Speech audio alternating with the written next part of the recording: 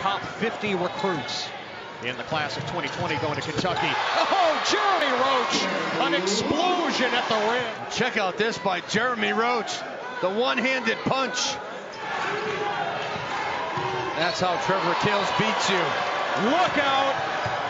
Roach breaking the hammer out of the bag. Shot, and maybe the knockout punch in this game. Jeremy Roach, as good as it gets.